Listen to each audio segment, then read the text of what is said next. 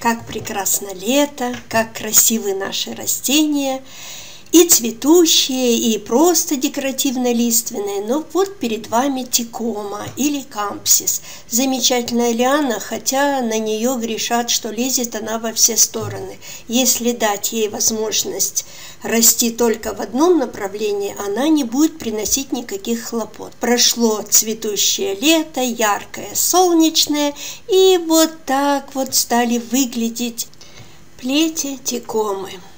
Правда неприглядно, и оставлять так до морозов мне совсем не хочется. Ну, будет очень некрасиво, а ведь как приятно, когда ухоженный двор, участок. И что? Самые толстые плети, конечно, я не обрезаю. Обрезаю только э, плети, которые образовались в этом году и слегка отревесневевшие.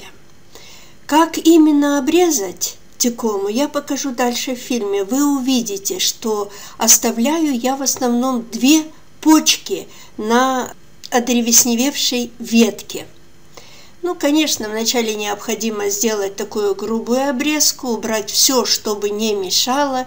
И, кстати, вот все эти обрезки мне приходится нарезать для того, чтобы топить в печке, потому что у нас в Молдове не разрешают жечь в огородах всю срезанную за осень поросль. Конечно, работы намного больше.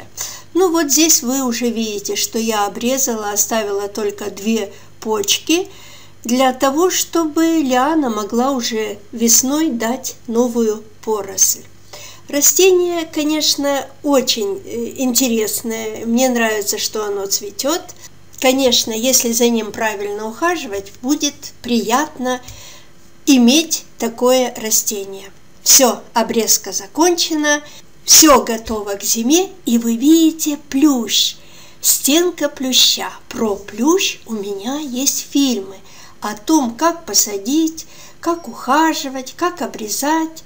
Видеоблогер Екатерина Снытко, а вы подготовили ваши растения к длинной зиме, и чтобы весной оно начало радовать вас. Всего доброго, Екатерина Снытко.